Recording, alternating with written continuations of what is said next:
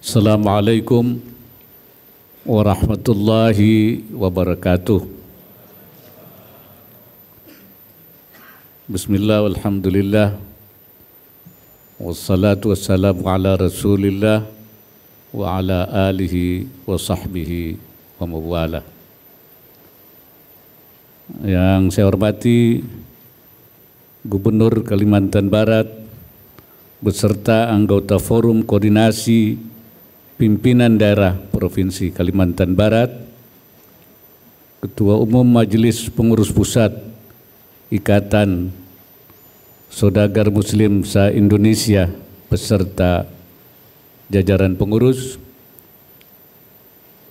Ketua Majelis Pengurus Wilayah Ikatan Saudagar Muslim se-Indonesia Provinsi Kalimantan Barat beserta jajaran pengurus, para peserta silaturahim bisnis Ikatan Saudagar Muslim se-Indonesia, hadirin serta undangan yang berbahagia. Alhamdulillah, puji syukur kehadirat Allah Subhanahu wa taala atas limpahan rahmat dan karunia-Nya sehingga pada hari ini kita dapat menghadiri pembukaan silaturahim bisnis nasional ke-14 Ikatan Sudagar Muslim se-Indonesia. Dan ternyata saya adalah sebagai ketua pembinanya.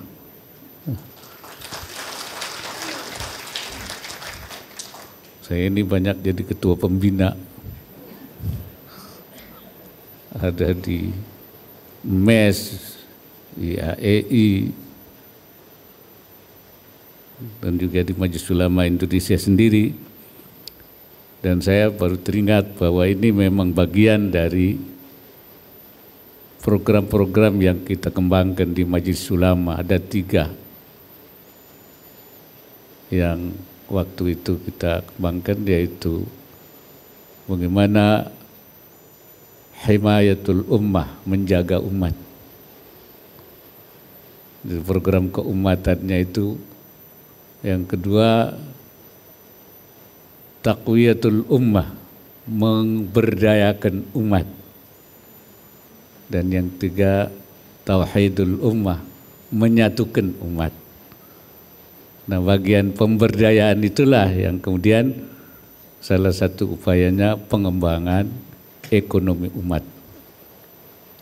Dan termasuk ketika itu kita mengadakan kongres ekonomi umat dalam rangka pemberdayaan umat dan kita konsepkan apa yang kita sebut dengan arus baru ekonomi Indonesia yaitu pemberdayaan ekonomi masyarakat kecil ya, UMKM.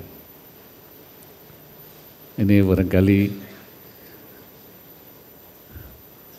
karena itu ketika saudara muslim didirikan maka saya memberikan dukungan yang kuat supaya ini menimbulkan wadah daripada penguatan pengusaha muslim Indonesia.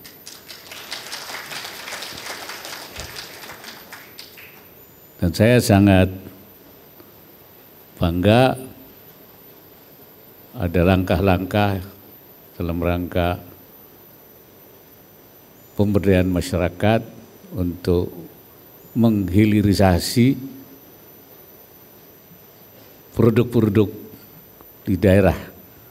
Tadi ada buah-buahan.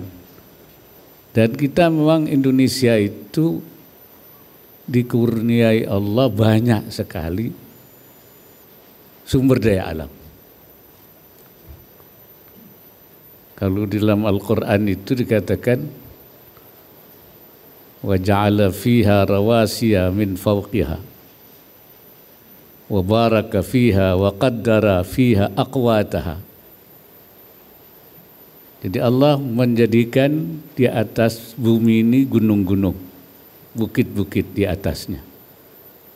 Allah memberkati bumi ini dan menentukan makanan-makanannya di masing-masing daerah.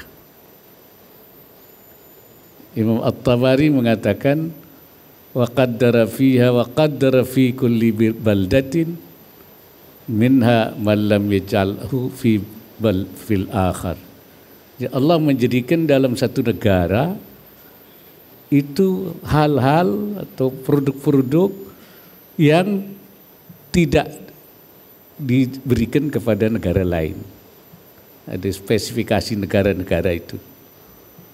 Untuk menjadi penghidupan daripada masing-masing negara, litijara, bil dengan perdagangan, min baldatin ila baldatin dari satu negara ke negara yang lain. Nah, artinya Allah memberikan kepada negara itu penghasilan-penghasilan yang bisa kemudian diolah, diekspor. Nah, Indonesia ini punya produk-produk pertanian, punya produk-produk perkebunan, pertambangan, perikanan, bahkan juga pantainya, daerah-daerah wisatanya. Saya bilang Indonesia ini semuanya Indonesia semuanya destinasi wisata. Ya. Bahkan kalau orang Arab mengatakan Indonesia itu qita'atun minal jannah nuqilat ilal ard seperti sepotong sorga yang dipindahkan ke bumi. Jadi itu semuanya destinasi yang bisa kita olah. Hanya memang di sini kita belum mengolah produk-produk hasil kita itu dengan optimal dan bisa dihilirisasi. Karena itu saya berharap ismi ini menjadi hamzah wasal. Bahasa saya hamzah wasal. Hamzah wasal itu apa? Huruf hamzah yang menjadi penyambung kata sehingga menjadi untayan kata yang indah. Jadi nanti Hamzah Wasal itu menjadi penyambung dari produk-produk masyarakat itu perkebunan, pertanian itu kemudian bisa diolah menjadi produk jadi dan bisa dijual baik ke dalam negeri maupun luar negeri. Karena itu dengan demikian saya berharap ismi akan menjadi hamzah wasal daripada produk-produk rakyat. Jangan dibiarkan. Kalau tidak ada hamzah wasal, eh, tidak tidak tidak produktif lagi. Tadi seperti dikatakan Pak Gubernur, harganya murah, tapi kalau diolah oleh hamzah wasal, dia kemudian menjadi harganya menjadi bernilai. Hadirin sekalian, baru saja Indonesia menuntaskan tugas presidensi G20 dengan sangat baik. KTT G20 tahun 2022 telah menarik perhatian dunia serta berhasil membuahkan kesepakatan penting dalam upaya mengatasi berbagai persoalan global utamanya di sektor ekonomi. Dunia bisnis pun turut menyerukan pentingnya pembangunan ekonomi yang inovatif, inklusif dan kolaboratif. Tiga kata kunci tersebut harus terus didorong, terutama untuk mempercepat upaya pemulihan ekonomi global yang berkelanjutan. Saya melihat langkah baik ini patut kita dukung sejalan dengan semangat membangun ekonomi keumatan yang berkeadilan. Untuk itu, kontribusi aktif para saudagar muslim tentu sangat dibutuhkan. Sebagai wadah pengusaha muslim Indonesia, saya minta ISMI untuk terus mengoptimalkan segenap potensi dan kesempatan serta mengambil peran nyata dan signifikan dalam mendukung ekonomi pulih lebih cepat dan lebih kuat. Saudara muslim yang saya hormati, sumber daya dan peluang Indonesia untuk menjadi pusat ekonomi syariah dunia tidak diragukan. Jumlah populasi kita merupakan terbesar keempat di dunia. Dengan penduduk muslim lebih dari 85 persen, di samping sebagai konsumen, potensi menjadi produsen halal juga sangat besar. Kita Indonesia dengan telah membangun namanya Komite Nasional Ekonomi dan Keuangan Syariah KNEKS. KNEKS itu diketuai oleh Presiden, wakil ketua dan ketua hariannya itu wakil presiden, sekretarisnya menteri keuangan, dan anggotanya menteri-menteri koordinator dan menteri-menteri terkait untuk menggerakkan ada empat fokus yang kita arahkan. Pertama itu mengembangkan industri halal dan kita ingin menjadi pusat halal dunia pada tahun 2024. Yang kedua industri keuangan. Dan yang ketiga adalah dana sosial Islam yaitu zakat, wakaf, infak, sadakah yang terus kita bangun dan yang kelimanya, yang keempatnya adalah membangun pengusaha, pengusaha muslim, pengusaha-pengusaha yang berbasis syariah dan mengembangkan usaha-usaha syariah, bisnis syariah. Dan di daerah-daerah kita bangun juga Komite Daerah Ekonomi dan Keuangan Syariah, KDEKS, yang pengurusnya adalah gubernur, wakil gubernur, sekretaris daerah, dan yang terkait lainnya. Sudah beberapa daerah sudah dibentuk, Riau sudah, Sumatera Selatan sudah, Jawa Timur sudah, Sulawesi Selatan, Nusa Tenggara Barat, Yogyakarta, dan juga menyusul Jawa Tengah. Dan saya minta juga Kalimantan Barat supaya segera dibentuk dan supaya kita untuk menggerakkan potensi ekonomi di daerah, ekonomi dan keuangan syariah daerah.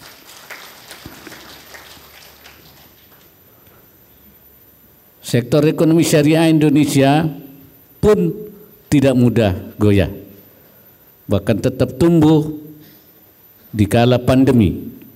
Indonesia juga tercatat meraih peringkat keempat dalam Global Islamic ekonomi indikator. Percapaian ini semakin meyakinkan kita untuk terus memperkuat ekosistem ekonomi Islam di Indonesia. Pemerintah telah menetapkan berbagai kebijakan, salah satunya terkait penguatan ekosistem rantai nilai halal seperti sektor pertanian yang terintegrasi, kuliner halal, dan fashion muslim.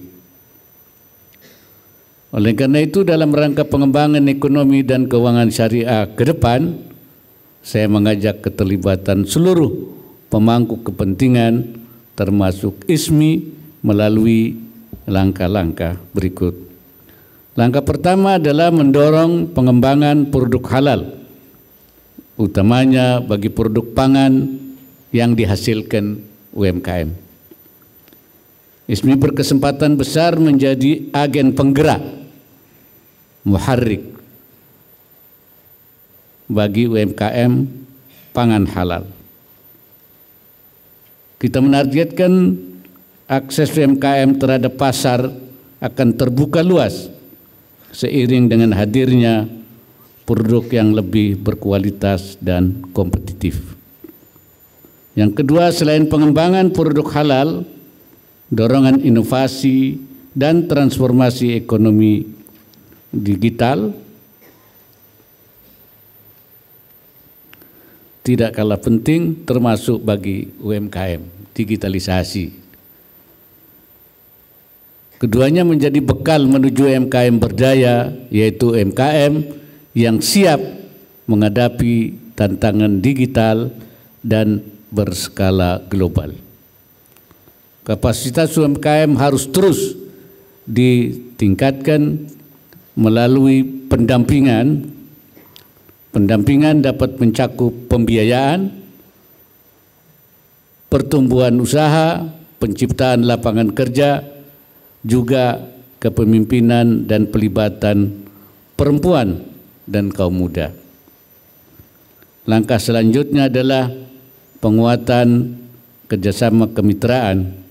Kemitraan akan mendorong kolaborasi untuk menciptakan ekosistem kewirausahaan yang kuat sekaligus mensejahterakan umat.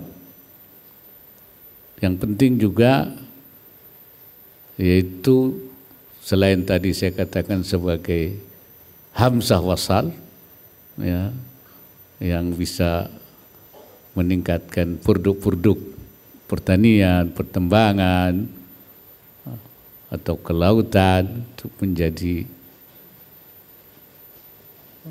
punya nilai tambah tapi juga kemudian memasarkan. Di sini fungsi hamzah wasal dan juga yang penting lagi menginkubasi ya menyemai pengusaha-pengusaha yang memiliki keinginan untuk berusaha di masing-masing daerah. Jadi ditumbuhkan para pengusaha-pengusaha yang baru dan juga memperkuat atau memberdayakan pengusaha yang sudah ada supaya pengusaha ini naik kelas jangan menjadi pengusaha stunting.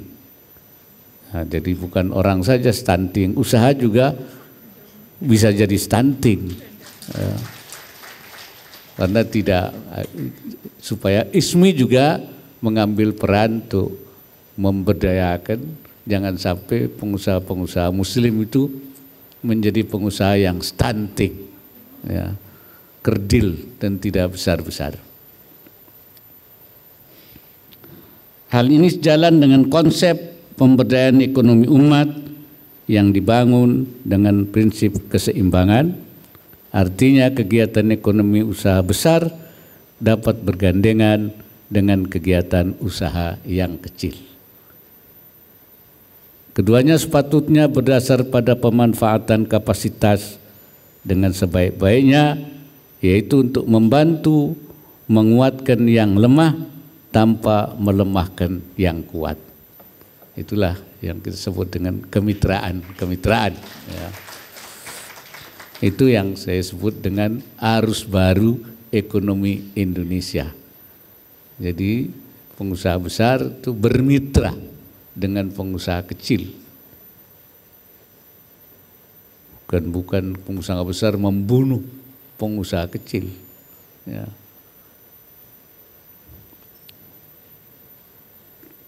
Terakhir, berbagai kegiatan ISMI agar berorientasi pada upaya menumbuhkan semangat dan kebanggaan untuk berwirausaha, khususnya untuk merangkul generasi muda. Semakin banyak pelaku usaha tumbuh di kalangan Muslim, semakin besar jalan menuju pemertaan kesejahteraan.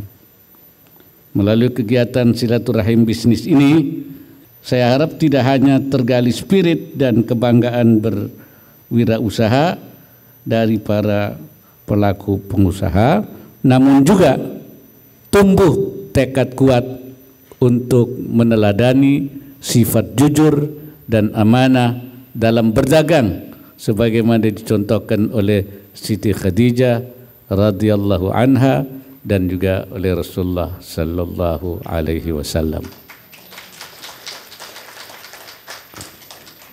Jadi diharapkan juga menjadi pengusaha yang jujur ya. Hadirin yang berbahagia, menutup sambutan ini saya mengharapkan forum ini menjadi momentum untuk mengukuhkan kebersamaan dan kerjasama para sudagar muslim serta untuk terus bersinergi menggerakkan aktivitas ekonomi syariah melalui pemberdayaan ekonomi umat.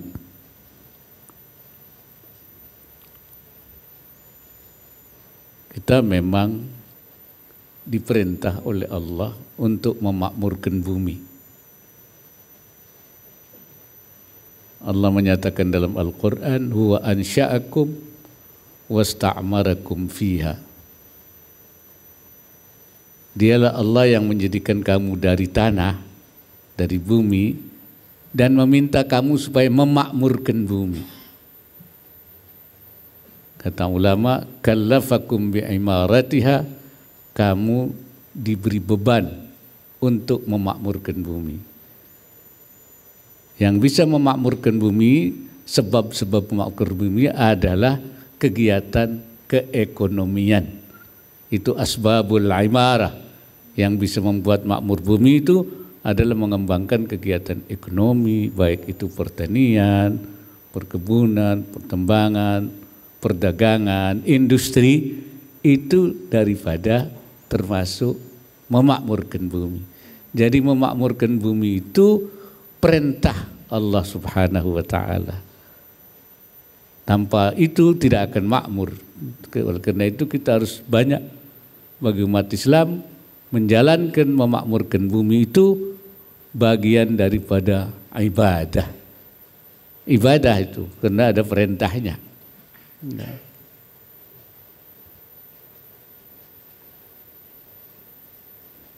Dan kuncinya, kuncinya Mafatihul Imarah namanya itu adalah ilmu pengetahuan dan teknologi. Seperti dikatakan oleh Pak Ilham, maka kalau kita ingin membangun itu harus menguasai ilmu pengetahuan dan teknologi. Jadi kemakmuran, ilmu pengetahuan itu menjadi penting. Karena itu menurut saya menguasai ilmu pengetahuan dan teknologi itu sesuatu kewajiban. Mimba bima la wajib illa bihi fahuwa wajib imarah, makmuran tidak akan bisa tanpa usaha-usaha ekonomi, ekonomi tidak akan bisa berkembang tanpa didukung oleh ilmu pengetahuan dan teknologi. Itu saya kira yang harus kita kita kembangkan. Begitu pula dengan groundbreaking hotel dan pabrik pengolahan tanaman, hortikultura yang akan diresmikan, serta beroperasinya klinik rawat jalan kiranya semakin menegaskan kontribusi nyata ISMI dalam menciptakan lapangan kerja. Mendukung sektor pariwisata dan meningkatkan pelayanan kesehatan masyarakat. Untuk itu saya sangat mengapresiasi terutama ISMI Kalimantan Barat yang sudah memulai langkahnya. Ya. Dan saya harap nanti diikuti oleh ISMI-ISMI provinsi-provinsi yang lain. Ya. Tidak hanya bertemu saja, ya. tidak hanya kita berdiskusi saja, tetapi ada langkah-langkah konkret ya, yang nyata yang bisa diwujudkan. Akhirnya dengan mengucapkan Bismillahirrahmanirrahim pembukaan silaturahim bisnis nasional ke-14 Ikatan Saudagar Muslim se-Indonesia groundbreaking hotel Amanda dan pabrik pengolahan tanaman hortikultura Khatulistiwa Global Food saya nyatakan diresmikan. Semoga Allah Subhanahu wa taala senantiasa memberikan inayahnya dan meridai semua ikhtiar yang kita lakukan. Wallahu al-muwaffiq ila aqwamit thariq. Wassalamualaikum warahmatullahi wabarakatuh. Untuk penekanan tombol serina, kita akan hitung mundur bersama-sama. Tiga, dua, satu. Demikian satu rahmi bisnis ke-14 Ikatan Keluarga Musik Indonesia dan Jakarta Timur Cabang dan resmi dibuka.